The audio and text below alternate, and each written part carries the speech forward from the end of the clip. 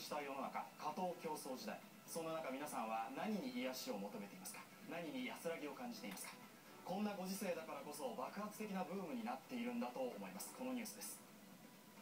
ゆるキャラグランプリ2011その栄冠に輝いたのはゆるキャラとはゆるいマスコットキャラクターの略です。地方自治体などが PR のために作ったもの着ぐるみ化されていることが条件なんだということです。ゆるキャラか。俺ゆるキャラに興味ないな。とテレビのリモコンを今手に取った方。侮るなかれ見くびるなかれ今日の今朝ターンあなたの知らなかった。新たな自分が発見できるかもしれません。私喋っていて恥ずかしくなってきましたがコメンテーターの皆さんはゆるキャラについてどんなイメージをお持ちですか？ちなみにコメンテーターの方々。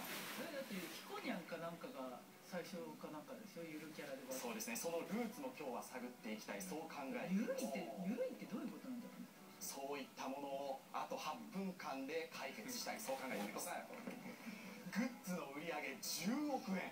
ゆるキャラの頂点に立ったのは。そして調べていくとゆるキャラオールスターが登場する。ゆるキャラ温度を歌う大物歌手とは。今日の今朝タン。まさに未知との遭遇でございます。おととい行われたのはゆるキャラグランプリ2011その1位に輝いたのは熊本。のくまモンそのキャラクターがこちらです。実は朝ドラの中継にも登場してくれているんです。目が点驚いた表情がトレードマークのくまモン。その誕生のきっかけが今年の3月九州新幹線全線開通に合わせ去年誕生しました。では名前の由来は何なのか。熊本の人これを方言で言うと熊本物熊本物熊本物。熊本物熊本物くまモンになったそうなんです。では仕事は何をしているのか担当者にお話を伺いました。公務員をしている県の営業部長なんだそうです。では一見すると熊に見えるくまモン熊なんですかと担当者に伺ってみると。熊ではないんじゃないですかと笑っていました。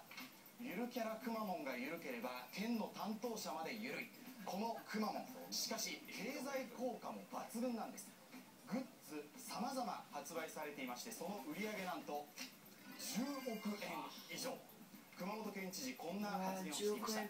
熊本のみならず日本中を元気にしてもらいたい。給料を上げないとねなんてコメントを寄せていました。そこで私たちお話聞いたのが観光マーケティング論に詳しい鈴木教授ゆるキャラの活用というのは地域の活性化地域を見つめ直すことにもつながっている。もうつまり単なる一過性のブームではないんです。今や社会現象ゆるキャラの魅力に今日はググッと迫ります。まずおととい行われたゆるキャラグランプリ2011全国各地から349体のキャラクターが集結しました。投票総数驚くなかれ333万票ほど。インターネットを使った投票で実施されました。はいそしてその栄えある1位に輝いたのが先ほどお伝えした熊本。熊本県。28万ポイント以上集めました。このグランプリの主催者荒川さんこう話します。とにかく全国各地で PR を行った。名刺も配ったということでこの名刺の数1万枚達成したということなんです。実はえくまモンが名刺配るくまモンが私こういうものです。ということで名刺を配り続けたということで東日本大震災発生以降は被災地も赴いていろいろ活動を行った。そういった地道な努力が実を結んだのではないかと言われています。では2位につけたのが愛媛県バディさん。今治さすが。2009年5月に誕生しました。焼き鳥の町今治生まれの鳥なんです。そしてこの頭の部分注目してください。頭には来島海峡大橋をイメージした王冠。そしてこの腹巻きはタオル生地。そしてこの財布を持ってるんですがこれが船の形の財布。つまりタオルも造船業も地場産業。地場産業を一緒くたにしてアピールしていくというものなんだそうなんです。すごいな。3位につけたのが東京都。西西国分寺だ。そうなんですよ西国分こちらは河原をイメージしたということで西国分寺の非公式キャラクター簡易投稿サイトツイッターを中心に活動を行っているこの西国実はこんなことがありました。インターネット上で西国を応援しようと呼びかけられたんです。これを受けて自動的に大量のメール送信できるようなシステムが構築されてしまいます。これによって投票総数がグッと上がって西国一時トップになったんです。しかしこういった不正投票が発覚して無効になってしまった。しかし3位につけているということなんです。この出来事が荒川さん曰く注目されるきっかけになった。上位に入賞したのはこの理由もあるんじゃないかということらしいです。では4位5位どんなキャラクターなのか。4位は栃木県余一君栃木県といえば那須の余一イメージしているのが4位。そして5位は愛知県八丸ダナモエリザベス。これは毎日名古屋城でおもてなしをしているということでした。では6位以降どのようなキャラクターが実際ずらっとこちらに並べました。さまざまなキャラクターがいるんですが商店街を商店街を盛り上げようということでこのヤナナこれは、セクシーキャラ。えー私の一押しなんですがこの頭の部分は段ボールでできているということでした。その手作り感あふれるもの。こういった最近はゆるキャラ自身がブロックなどを使って PR しているここまで大きくなってきたゆるキャラの流れルーツを探りました。いつからなのか時は2002年。イラストレーター三浦淳さんによるゆるキャラと名付けられたこれによって決まりました。そして火付け役といえばさすが。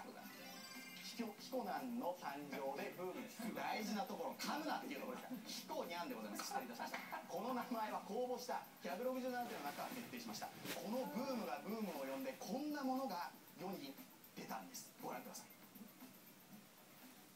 あまりに駆けぬキャラだけどうちの村では有